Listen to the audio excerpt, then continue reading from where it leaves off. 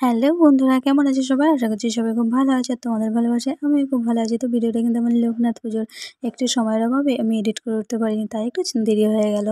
তো লোকনাথ পুজোয় জানো তো, আমার তিন জায়গায় নিমন্ত্রণ ছিল। আর মেয়ে গেছিল পড়তে, তার জন্য একটু দেরি হয়ে গেছে। তাড়াহুড়ো করে বেরিয়ে পড়লাম, একটু রেডি হয়ে তো মিষ্টি নিলাম, নিয়ে সোজা চলে এলাম এই মন্দিরে। এই মন্দিরে আমি প্রত্যেক বছরে আসি, বান্ধবী আর আমি আসি। তো বান্ধবীর আজকে যেন শরীরটা ভালো নেই, তার জন্য বান্ধবী আর আসতে পারিনি।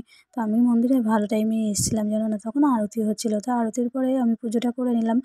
পুজোটা দিয়ে সোজা চলে যাব বান্ধবীর বাড়িতে। কারণ বান্ধবীর শরীরটা ভালো নেই, ওকে দেখে আবার যাব দু জায়গায় একটু দেখা করতে। তো রাস্তাতে হাঁটতে হাঁটতে জানো তো একটা ফুল পেলাম। ফুলটা মাথায় গুঁজে নিলাম। তো আমার মেয়ে বলছে, তোমার খালি বাচ্চা বানা, খালি বাচ্চাদের মতো করো। তুমি কিন্তু মাঝে মাঝে কিন্তু একটু বাচ্চাদের মতো করতে বেশ ভালোই লাগে, তাই না? বান্ধবীর বাড়িতে চলে এলাম। তো বান্ধবীর বাড়িতে বসে একটা ভিডিও করে নিলাম আগে। তারপরে একটা, দেখো, পুচু সোনা, এই পুচু সোনাটাকে তোমরা কিন্তু আগেও দেখেছ আমার ভিডিওতে আমার মাথায় ফুলটা দেখে ওর বায়না ফুলটা নেবে আর আমি তো দেবো না। ফুলটা নিয়ে খেলা করছিল, জানো তো? যেই ফুলটা হাতে দিলাম তখন ছিঁড়ে ফেলল ফুলটা আমার। তো এবার পড়েছে আমার ব্যাগ নিয়ে। আমার ওই ব্যাগটা নিয়ে খেলা করছিল। আর দেখো কেমন করে হামা করে দিচ্ছে। বেশ ভালো লাগছে কিন্তু দেখতে। তো আমি বাড়ি আসব, কারণ আরও দু জায়গায় যেতে হবে, তার জন্য দেখো আমাকে টাটা করে দিল।